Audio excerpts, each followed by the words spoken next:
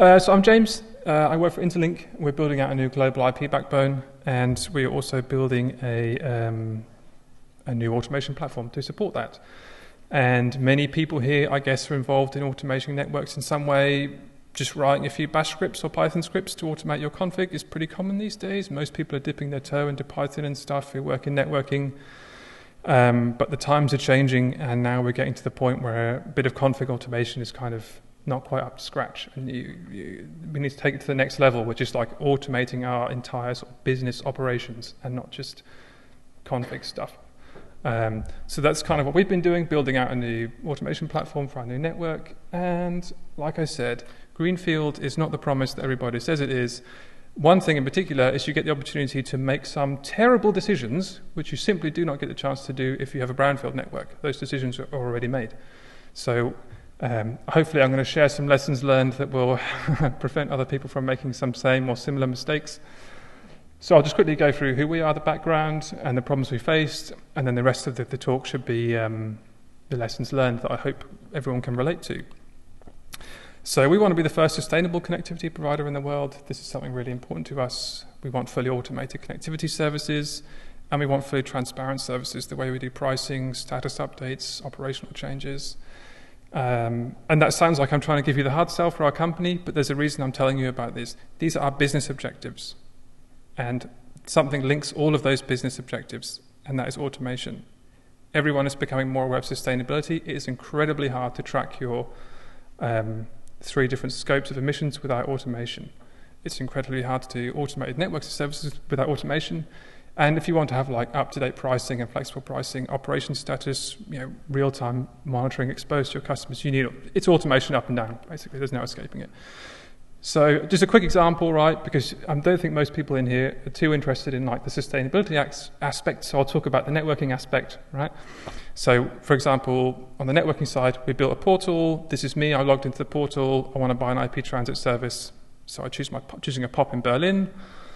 I choose what I want. I want a 10 gig port, and I want V4, and I want V6, and I just just click through the wizard, right?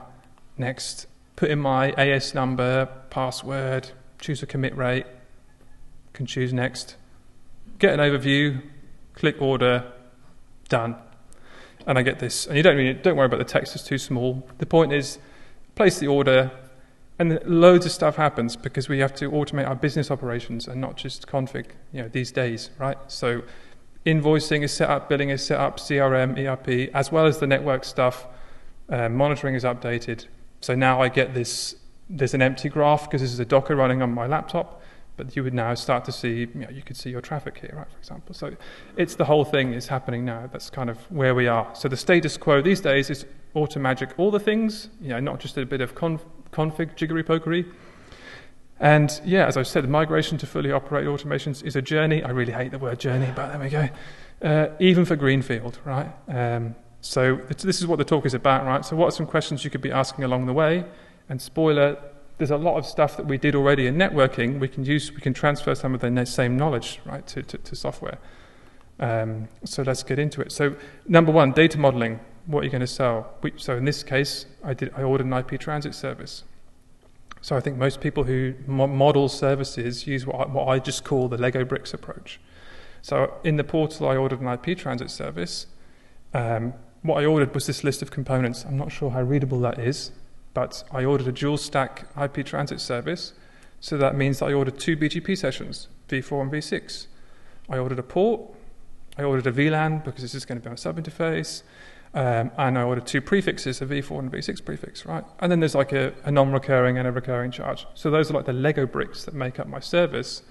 And when I want to develop another service, I can reuse the same bricks BGP session, port, and VLAN. That's what I need for a layer 3 VPN, right? Reuse the same Lego bricks. So I would encourage people to kind of take a sort of Lego bricks approach to, to doing your data modeling for services and stuff. Um, what will you model? You can, you can kind of save yourself a bit of time by looking at what you model explicitly versus implicitly. So, an example of this would be, for example, IGP sessions. All your core routers have IGP sessions. So, do you actually need to put all those into your configuration state database? Or is it something that you can kind of hard code? If two interfaces are core interfaces, they definitely have IGP. I don't need to like have that fact stored in a configuration database. It will implicitly be there. There's a bunch of stuff. NTP servers, DNS servers, every device is going to have them. So do I need to actually, for every device, specify the NTP server if they're the same for every device? So think about what will you model because you can save yourself some time. You can always add it in later on if you need to change it, but you can save some time. Where will you model it? There's no such thing as the perfect database. Um, you can't store all your invoicing in the same system that you store all your network config. There's no one tool that's really good at storing all that stuff. That's live. Um, so we use a concept that we call global IDs. Global IDs is basically we have a system we store all our customers and invoices in, ERP system. We have a config system, and we have a few other systems as well. Um, we have another system that allocates unique global IDs for everything. So I can query the config system and give it my customer's global ID and get their config, and I can query the invoice system and give them this unique, same unique global ID and get all their invoices. So even though those systems have their own IDs, every system also, also stores the global ID because there's no such thing as one size fits all. So this allows us to tie the data together. So again, I recommend you think about how will you. So if you've got Netbox or something and Salesforce, and they need to talk together, you need to think about how that's going to happen.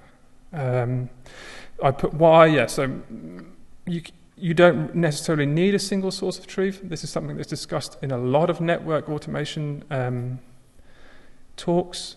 You don't need like because there's no such thing as one really great source of truth.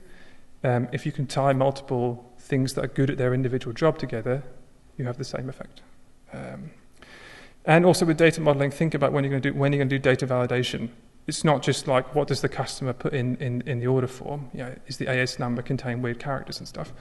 Um, but it's also internally. If you want to operate your automations internally, like pop rollouts and stuff, um, you need to think about what is valid data. So you have to spend a lot of time up front doing data modeling, but in the long run, it really pays dividends.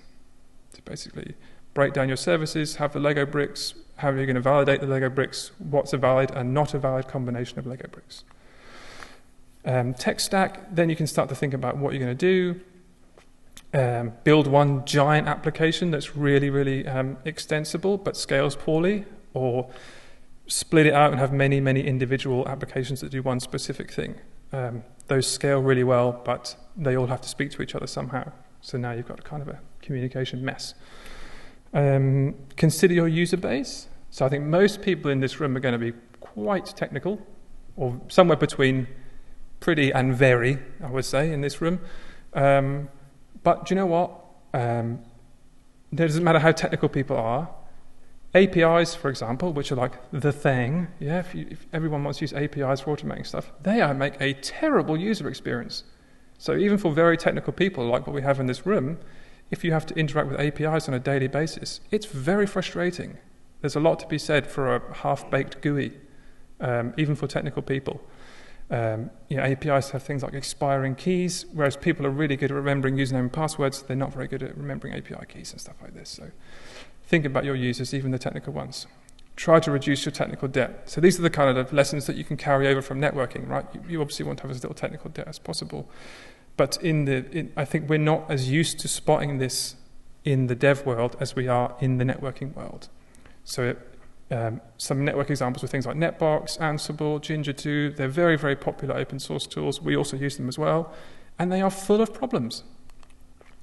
So Every small business looks roughly like this, right? They're all using Microsoft Excel. Everyone who's technical hates it because they don't you know what databases are?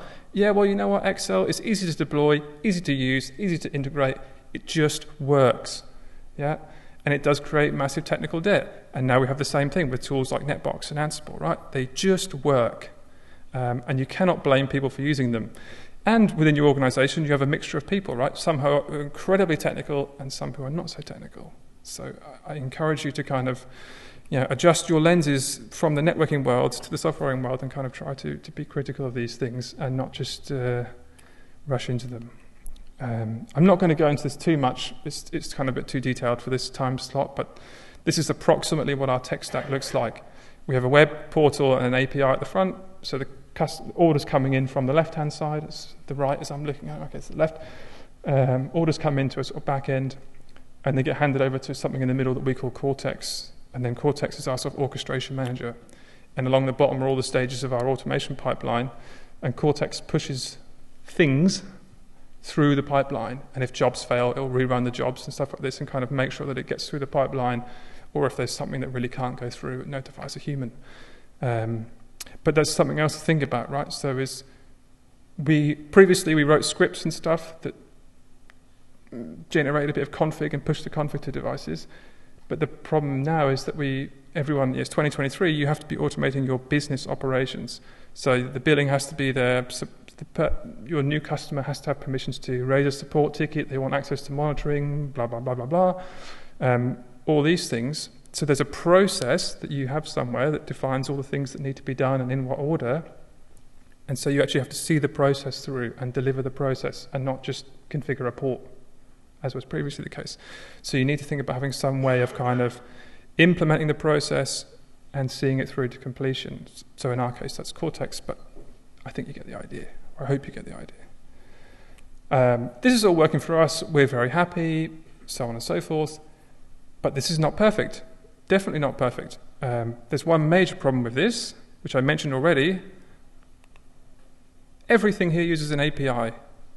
Some of these things do actually have um, GUIs. So at the bottom there's a box that says DCIM and IPAM. So that's Netbox. Netbox does have a GUI for people that know it.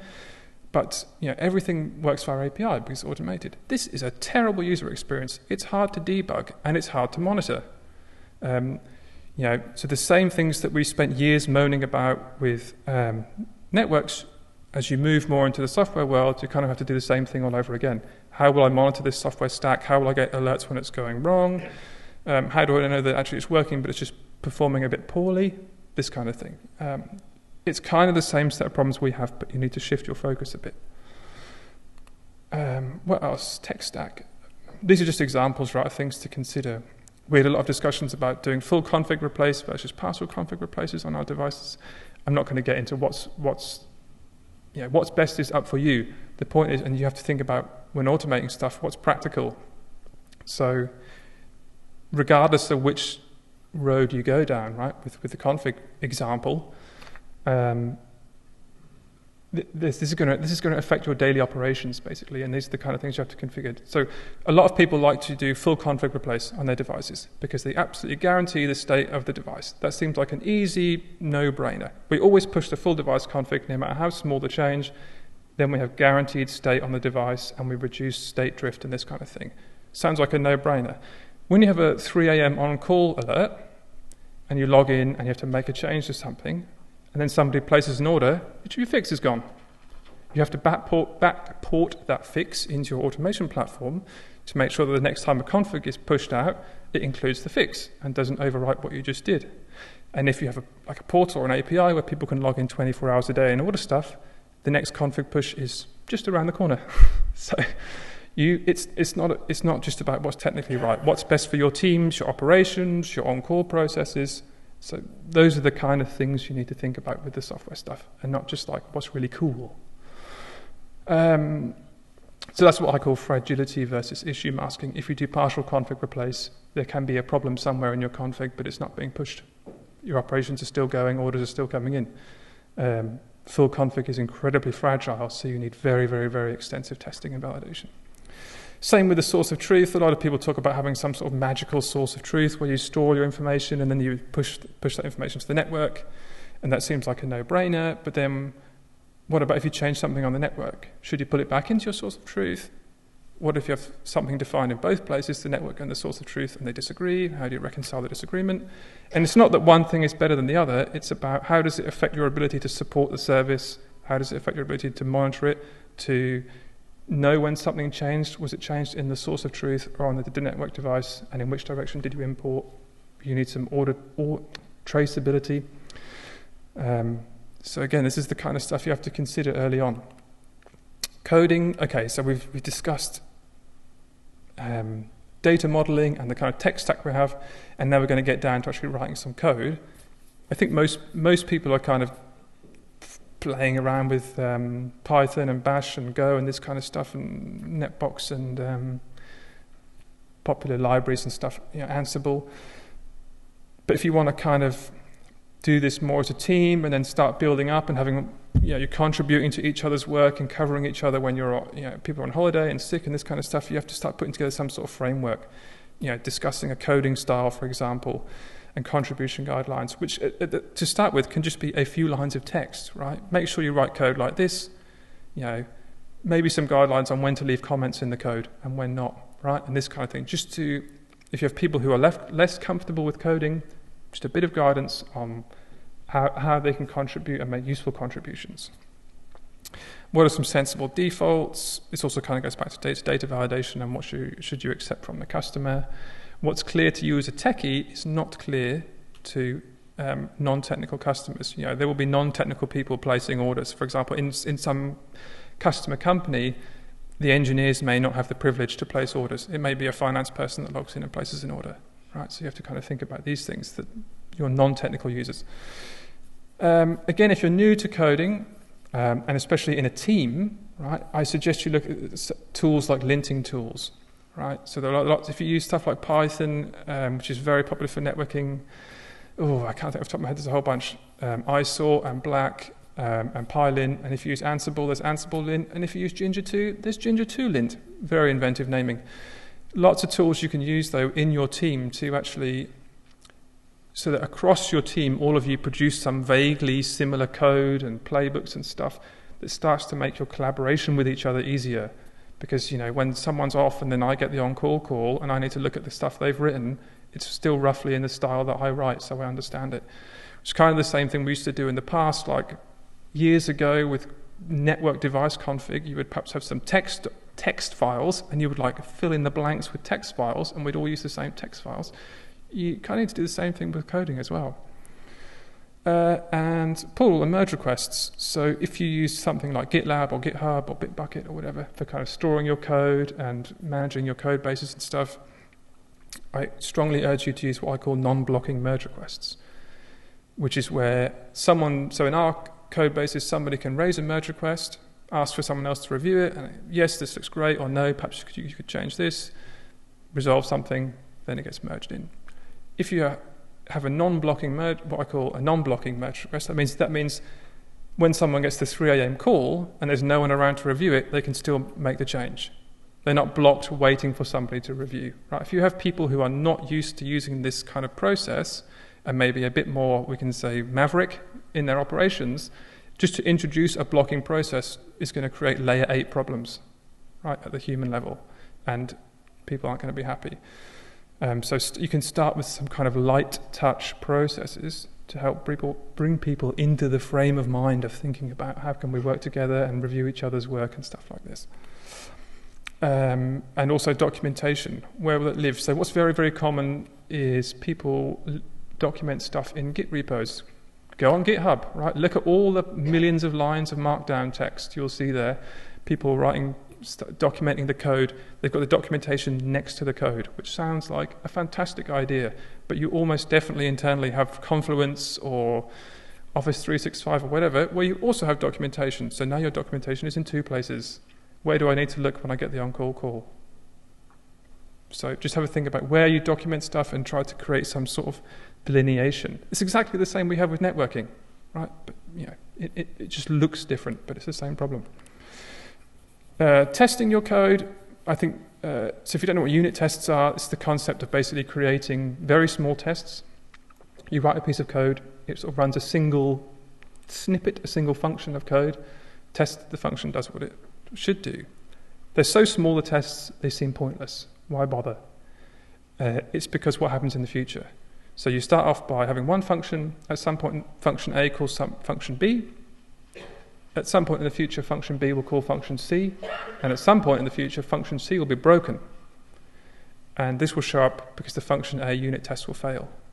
So immediately, there's a chain, each of the things in the chains are tested, you, just, you know instantly that something is broken and you can see where it's broken, which is a luxury that we don't normally have in networking, but we do have in software. Um, CI pipelines, so I also encourage you to use non-blocking CI pipelines. I mentioned merge requests. So if you raise a merge request in one of our Git repositories, a bunch of um, automated tests run against your changes to check that nothing is broken. But what if there's no one around at 3 o'clock in the morning to approve them? So again, we start with non-blocking tests. So even if the tests fail, you can still merge because I know that this will fix the problem. And actually maybe the tests are broken. And then at some point in the future, you can move to blocking tests. You cannot merge anything um, unless the tests pass, because now we've been running the tests for six months. We know the tests are also mature and they are without bugs. But I recommend you start with non blocking to kind of uh, limit the layer 8 problems. And test coverage is a never ending story, so you just have to work out what's reasonable for you. We just, you know, so you can start by testing what I call making positive tests. Test what must work only. At some point, you can then test what must not work. And then at some point, you can test what should work. So you can break that down to stages um, because it, you can spend as much time writing tests as you do just writing your code. Uh, and create a simulation environment with some production data. I think this is one of the greatest things um, that we're missing in networking. Everybody, uh, you may or may not have worked at places with wonderful labs with everything you could think of in them. And I've also, you know, also may, you may have worked at places with basically nothing, and you rarely got to test anything before doing it in production. The one beauty about software is, of course, we can just spin up containers and virtual machines and test virtually everything we want. Um, so I, again, strongly recommend that you capitalize on this opportunity. I think most people here, if you work in networking, especially operations, will definitely have, you know, caused an outage or 10 at some point. I've created absolutely loads. Um, debugging. Software is hard, it is not user friendly. I strongly recommend you take the time to write some user friendly error messages. So we have spent really a non trivial amount of time going through our code, catching errors, and then making sure that we actually then uh, produce a human friendly error message that actually describes what may be the problem, what we think the problem is at the time. Because uh, we all have it with networks. You type some config in, you just get a weird error message back, and you've got no choice but to raise a TAC case.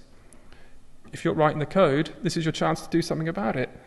Um, so again, and think about those 3 a.m. on-call people. What are they? You know, they've got blurry eyes and they can barely see the screen. So I strongly recommend to write some human-friendly error messages. Same goes for logging. Just as you would log your networking, networking gear, you can log your software stack. There are lots of tools out there that will do things like API performance monitoring, so we can monitor the performance of our APIs and check when they're getting slow or they're starting to uh, return errors. Um, we can also catch errors. So if an API just simply fails, um, we use Sentry, for example. Sentry aggregates all of the errors, gives them to humans, so humans know that something in the pipeline is broken. And fail safe. Um, again, so common tool that I mentioned earlier is Ansible. I think uh, anyone here used Ansible ever? Yeah, pretty good number of people, I would say. So the default mode of Ansible, then, which most of you will know, is that when you run Ansible, um, its default mode is to apply all roles and tasks essentially to all devices. The default is just everything. So if you have some playbooks that push config to your network, if you run Ansible and don't specify, and don't limit the hosts or the roles, it just just push everything. That's a terrible, terrible default. Like by default, it will just push config to your entire network. Um, so I strongly suggest you go through your automation stack and think about what happens when you run things with missing arguments or no arguments or the wrong arguments. Um, especially if you're taking data in from the public, like you know, we are, we are accepting orders through an API and a portal, but also internally. Um, so that's it, I think. Um, any questions?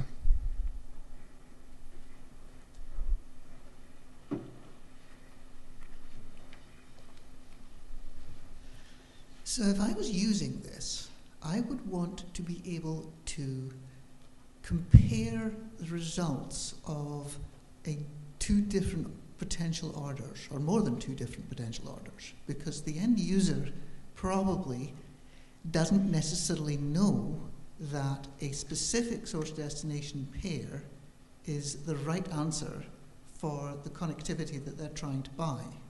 So support in the toolset for doing that would be something that I would think would be a valuable addition if you don't do it already. Maybe you do it already. Uh, we don't, but it's a good. Yeah, I see what you're saying. It's a good idea. At the minute, we kind of have a sort of rudimentary sort of uh, documents on how to use the tool, um, public-facing documentation on how to use the the, the portal, the wizard thing. Um, but it's a good point. Uh, I have literally just come back from holiday, so that's my get out of jail free card, right? Today's my first day back from holiday, so I haven't looked at the documentation in a while, so I'm not sure how uh, technically deep it is. Um, but I'll take it away. It's a good, it's a totally valid point. And I have another observation, which is that long ago I was part of a startup which used the actual network topology, which it built from the configuration, as the way as a way in which the users could interact with the network.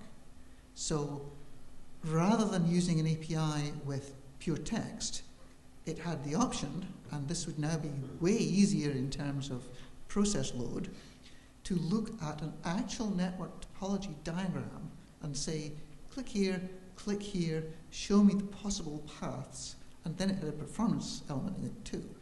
So something like that would be, again, something that might possibly be of interest or use to people who were running this, had this kind of problem. Yes, yeah. I mean, uh, if anyone is interested in that kind of thing, I would thoroughly recommend. There's a Python module called NetworkX. It's very easy to get started. You can, yeah, you can, it's really easy just to load your topology, topology up in it, and then see all the paths. Um, I wrote a Python module uh, called PyFRR, fast reroute. So it calculates all that kind of stuff. Best paths, alternative paths, TI-LFA paths, and stuff. Um, so I would recommend it to anybody who, who wants to do that. Hi, James. It took me a moment to work out what CI was. Ah, Um, sorry. Would you like to tell people what is it continuous integration, and if so, why is it nifty? Yes, sure. Sorry, sorry. Um, so yeah, I mentioned about CI in there. What I was talking about was continuous integration. Continuous integration is a concept where, um, so we have our code base sitting in in uh, GitLab. You can raise a merge request if you want to change something, and continuous integration. What that means is we have a set of automated steps that run when you raise a merge request.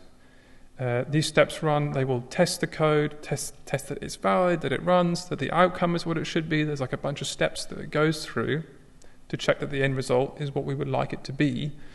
Um, and the useful thing about continuous integration is that it allows um, anyone to kind of make a pull request to one of our repositories who is not that familiar with the code, and it doesn't have to be um, very deeply reviewed by something. I don't have to wait for someone who's really familiar with the code to come and um, review it. The, the CI tests mean that anyone who's not so familiar with that code can see, oh yeah, the CI tests are p- passing, and I can actually have a quick look through the code to make sure that kind of it's sane and nothing crazy without having to really understand the code in depth. So it lets us kind of test stuff and deploy stuff kind of more confidently and quicker, uh, and I would thoroughly recommend it. Kathy. I have a remote question from Pierre Yves Mm. from F5 who asks How do you deal with customers pushing config all the time? Do you have any concurrent access issues or do you do them in batch? As, how does that work with your own operations? Okay, that's like two questions in one. Uh, how do we deal with customers um, pushing config all the time in concurrence? So the first issue was concurrency. Um, okay, so we, we do not have an issue with this. There's, there's two things that play in our favour. You can, you can decide if they're good or bad for yourself. The first thing is um, we sell IP transit. That's not the kind of thing you get 100 orders a minute for. Um, I think even the biggest IP transit providers in the world aren't getting you know, 100 orders a day, right? So it's kind of the type of product that we're selling just doesn't lead to like enormous crazy order volumes. So we don't have issues with things like you know, so this everything we've written is in python for example which is not everyone knows is not very fast but it's not a problem because we don't get a thousand orders a day. Um, so that's that's one thing. Uh, but the second thing is we do actually implement locking. Uh, there's a reason for that. Um, i mentioned earlier so uh, i had that slide up with our architecture um, this, so I mentioned that the, along the bottom there's a square that says DCIM IPAM. That is Netbox, which I've grown to hate. Um, but some of the other boxes, they're a mixture of kind of off-the-shelf stuff and stuff that we've developed in-house. Um, and so Net, Netbox, for example, Cortex implements locking because Netbox can't. Don't forget that Netbox has a web GUI and stuff like that, and anyone could just log in and make a change at any point. So we make sure that everything goes through Cortex if two th- people are making an API call to Cortex at the same time, both happen to be uh, related to NetBox, it will lock Netbox and make them uh, one at a time and not in parallel. Um, so there's a few other places in the pipeline where we kind of lock this stuff, um, make a change, and then unlock it.